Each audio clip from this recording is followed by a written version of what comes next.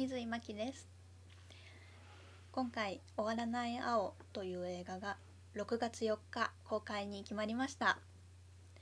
場所は渋谷のアップリンクシアターなんですけれどもこの映画は2年前去年一昨年の夏に撮った映画なのでようやく公開が決まって嬉しく思っています。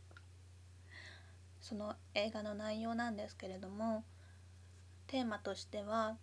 リストカットとかいう自傷行為と虐待親からの虐待をテーマにしています。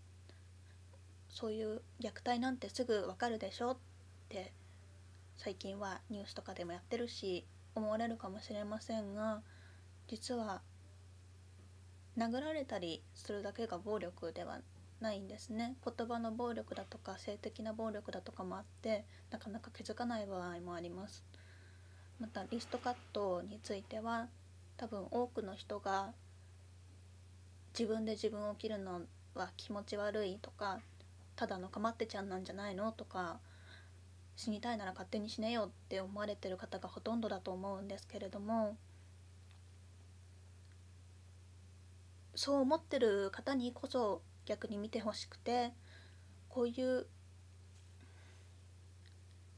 実際に抜き差しならない状況にいて切ることでしか自分の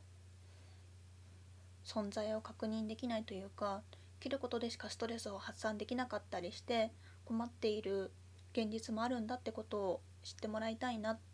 ていうそういう映画なんです。だからちょっと明るいお話アクション映画みたいにスカッとしたりするわけではないけれども